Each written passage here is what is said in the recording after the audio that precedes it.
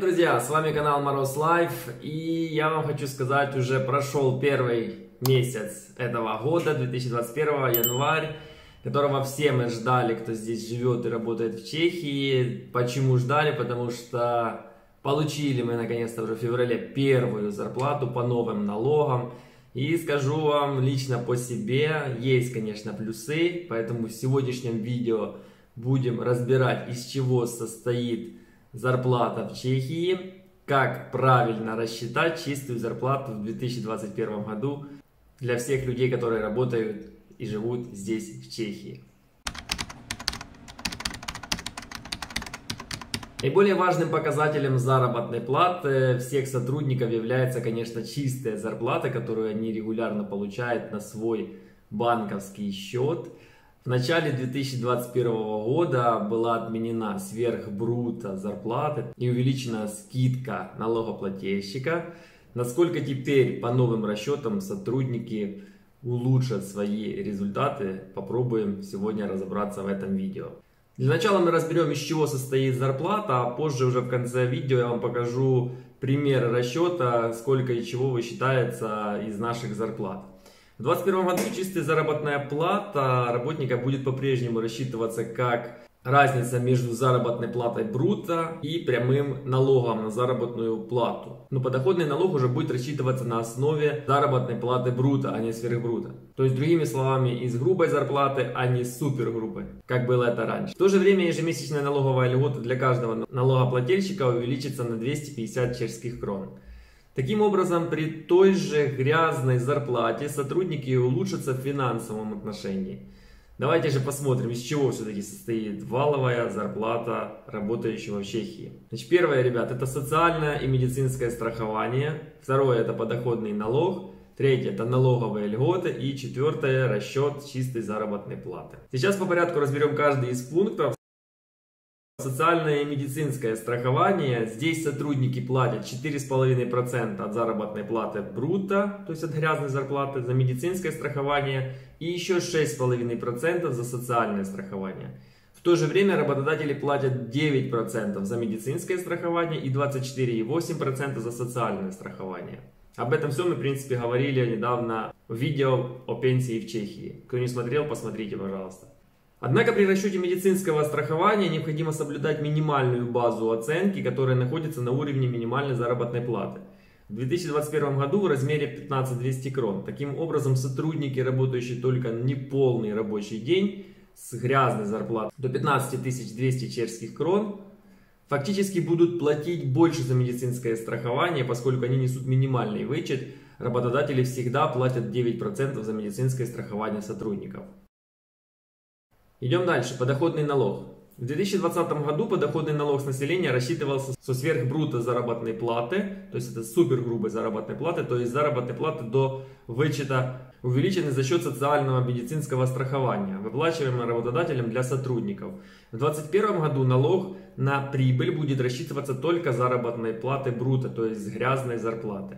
Ставки подоходного налога составляют на данный момент 15% и 23%. Об этом всем тоже говорил неоднократно, много видео об этом есть, поэтому можете пересматривать, смотреть. Но опять же, знайте, что сейчас есть только два налога. 15% и 23%. 23% включается от суммы 140 тысяч крон грубой зарплаты. Сотрудники, у которых есть налоговая декларация, такая вот красненькая или розовенькая бумажечка, подписанная их работодателем, всегда будет вычитать из рассчитанного подоходного налога скидку на налогоплательщика в размере в ежемесячной сумме 2320 чешских крон. В 2020 году это было 2070 чешских крон. При одновременной работе более чем на одного работодателя можно подписать налоговую декларацию только с одним работодателем.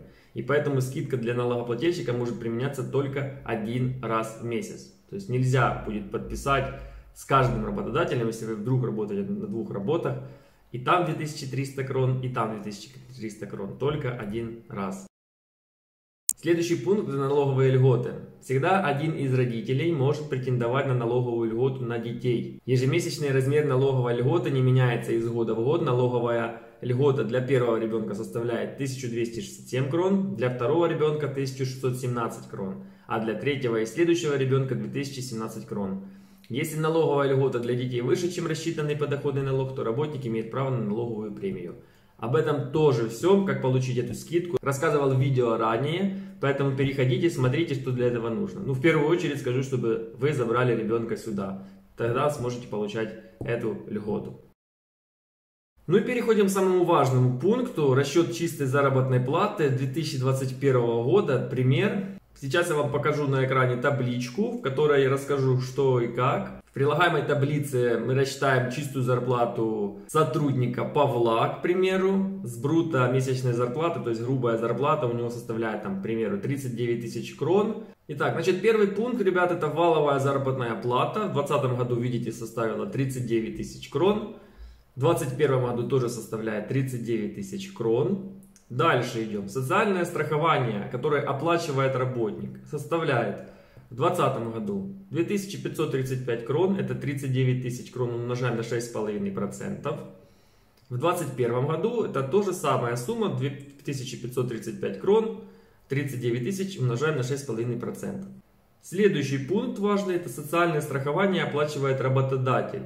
То есть здесь будет сумма 9672 кроны, 39 тысяч умножаем на 24,8%. И аналогичная сумма будет в 2021 году. Здесь ничего не меняется. Медицинское страхование, которое оплачивает работник, это 4,5%. В 2020 году составляло 1755 крон, в 2021 аналогично также 1755 крон. Медицинское страхование, которое оплачивает работодатель, Здесь будет сумма 3510 крон, то есть 39 тысяч умножаем на 9%. И в 21 аналогичная сумма, то здесь ничего не меняется. И теперь важно, ребят, сверхбрутто зарплата, то есть за сотню крон, это супер грубая зарплата, которая была в 2020 году, вот составляла 52 200 крон, то есть это 39 тысяч грубой зарплаты, плюс 9672 кроны за социальное страхование и плюс 3510 крон за медицинское страхование. В 2021 году этого нету, то есть X. Подоходный налог 7830 крон, то есть ранее высчитывался налог из супер грубой зарплаты, 5, 52 200 крон умножали на 15%, и это налог, который брался у вас из зарплаты. Сейчас же он составляет в 2021 году 5850 крон, 39 тысяч умножаем на 15%, то есть берется из грубой зарплаты.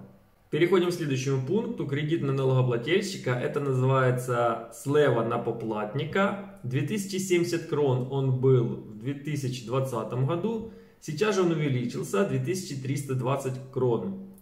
Я сейчас сделаю здесь чуть-чуть такую маленькую паузу. Ребят, это слева на поплатника тот налог, который возвращает вам работодатель. То есть это есть миф такой, что в Чехии можно вернуть налоги и в некоторых фирмах делают специально такую вот заявку, что вот мы вам якобы возвращаем налоги в виде 2320 крон ежемесячно, умножайте на 12, и вы сможете получить там 24, там 26 тысяч крон за год. То есть вот это и возвращение идет всех налогов. Это аналог, как в Германии возвращают отдельно налоги, там в других странах и так дальше. Так вот в Чехии вот это идет как бы возврат налогов. То есть нету больше никаких дополнительных налогов по возврату, по возврату. По крайней мере, я их не знаю, если честно. Я не слышал, чтобы здесь отдельно как-то возвращали еще налоги. Если вам при вычетах не показывают вот эти суммы, то это по сути идет обычный обман. Если эти суммы показываются, то есть слева на поплатника